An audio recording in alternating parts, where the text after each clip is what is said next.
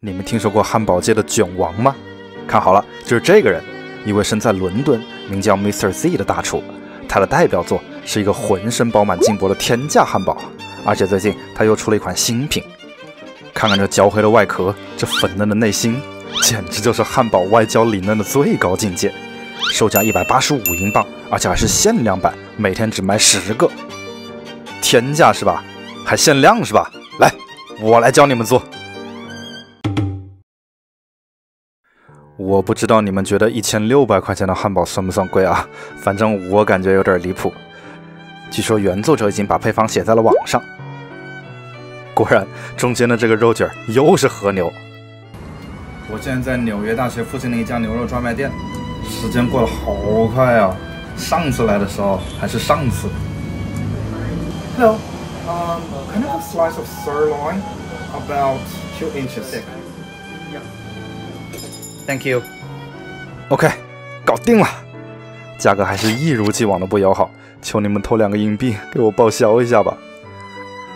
除了和牛以外，原版的配方里还有两种只有在日本超市才能买到的东西：新鲜的芥末和日式腌大根。哇，你们知道有什么东西跟和牛一样贵吗？就是这个山葵，一百二十刀一磅，还好只用一小根。日式腌萝卜倒是挺好买的。和山葵一比，简直就是亲民。OK，食材是买齐了，但是具体的做法，大师傅那是一个字都没提。但是我可以猜呀。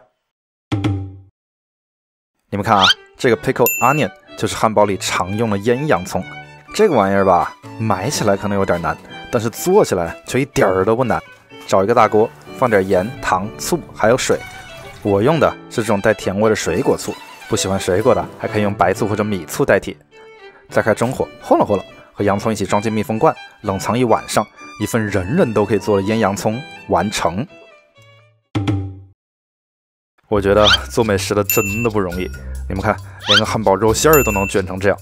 如果非要跟着一起卷的话，就得把和牛切成和四川回锅肉一样厚，和武汉鸭脖子一样长的片儿。切片儿的话，我熟。首先得把牛肉真空密封，冷冻三个小时，然后把刀也磨成最锋利的样子。理想的厚度大概在一点五毫米左右。话说，你们都切过宝塔肉吧？差不多就是这个手法啊，轻轻的往前这么一推。哎，呃，第一片嘛，一般都是用来把肉给削平的，切烂了很正常。第二片才会是牛肉卷的精华。我知道哪里不对了。你们看看这个脂肪又多又软，稍微摩擦一下，产生的热量就能让它融化。所以大师傅的做法应该是先把肉解冻，再像切蒜泥白肉那样横着这么一拉。哎，这切不动啊！这个和牛啊，跟其他的肉真的完全不一样，又软又黏。你的刀只要一动，它也就跟着动，相对速度为零。而且这个脂肪真的特别软，一碰就断了。这怎么切啊？哎，算了算了，我可不想拿和牛来练刀工。先别管这个，来做面包啊。原版配方上说，这个黑色的面包是用一种被称为高级黑的竹炭粉调出来的。哎，你们还记不记得我两年前做过的罗小黑流沙包？记得的，绝对是老粉了啊。那个时候的我用的就是竹炭粉，比大师傅还领先了两年。不愧是我，而且之前已经做了那么多麦当劳汉堡了，这种面包我告诉你，我闭着眼睛都能做。还是先拌干粉，稍微要注意一点的，就是这个时候要把竹炭粉也加进去，和弄和弄，千万不要等面团揉好了以后再加，否则就会这样。然后找一台专业的和弄机，把牛奶、鸡蛋和橄榄油放进去，和弄和弄。不同的面粉吸水程度也不一样，所以要分批少量的加入黄油，直到形成柔软的面团为止。你们看这个颜色，应该跟原版一样黑了吧？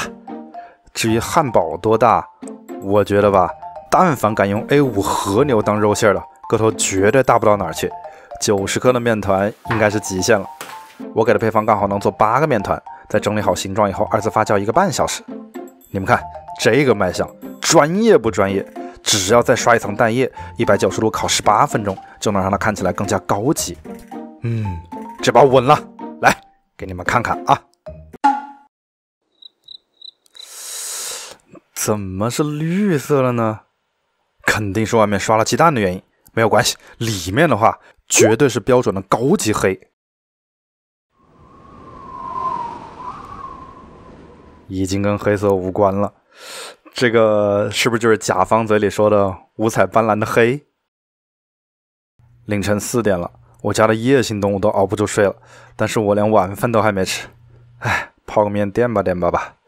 说好了今晚吃和牛汉堡的，咋就变成泡面了呢？好心酸啊！我在加班的时候总结了一下，经验这种东西，在面对未知领域的时候，绝对不能盲目的照搬。首先，面包不够黑的原因是因为竹炭粉的比例不够，但如果给的太多，表面活性剂的作用就会让面团无法成型，变成这种样子。所以我又参考了纽约的米其林餐厅 I Fiore 的墨鱼汁意面的做法。在竹炭粉的基础上，又加了一大勺墨鱼汁，这样既能保持汉堡的形状，也能形成细小的坑洞，做成外部焦黑的造型。绝对不能刷蛋液，只要在出炉以后抹上一层黄油，一份完美的黑墨鱼竹炭布里欧修面包完成。然后是和牛，在参考了好多餐厅的视频以后，我发现就算是大师傅，也只能做到四毫米厚的程度。所以我只能花重金买了一台专业的切肉机，只要调整好宽度，就能切出一点五毫米厚的薄片。以后你们谁有要吃火锅的，就来我家，我亲自切肥牛卷给你们吃啊！至于肉的熟度，我觉得如果原版的颜色是真的，那绝对会拉肚子。所以我又参考了之前在布鲁克林吃过的一家烧烤店的做法，把肉片单面煎十五秒，达到一面煎熟，另一面的脂肪化开的程度。最后是酱汁，原版用的是鸡尾酒里常见的烟熏百里香，只要把它点燃，用玻璃杯罩住，杯底的美乃滋就能吸入烟熏的味道，配合现磨的山葵，一份东西结合的烟熏百里香芥末美乃滋完成。配上切好的大根，全部食材准备完毕，那么就请你们先吃吧。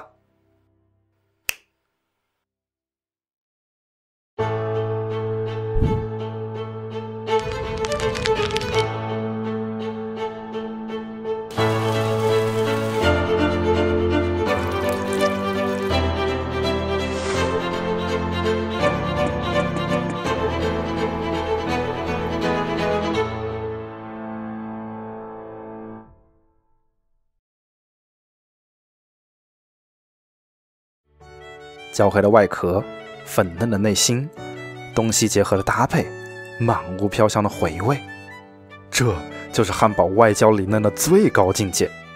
牛肉在口中融化，带来一股欲拒还迎的反抗；面包与牙齿碰撞，温热的麦香在舌尖回荡；酱料的清甜，大根的微咸，让我忍不住一键三连。其实，如果不追求颜色的话，我觉得把牛肉两面都煎过，味道可能会更好。也不知道原版图片的真实味道到底是怎样的，所以如果你们吃过的话，一定要告诉我啊！谢谢大家，我是大碗拿铁。新年的视频来的晚了一些，之后会更加勤快的。我们下期再见了。